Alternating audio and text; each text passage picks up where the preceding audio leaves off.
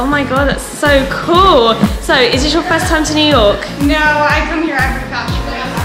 Ah, so what's your favourite thing to do over here? Uh, go eat 99 cent pizza. No pizza shops on the corner. Pizza is good. Yeah. So, what's your favourite clothing item?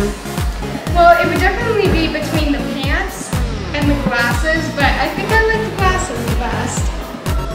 Let's have a look at the glasses. Very retro. Cool.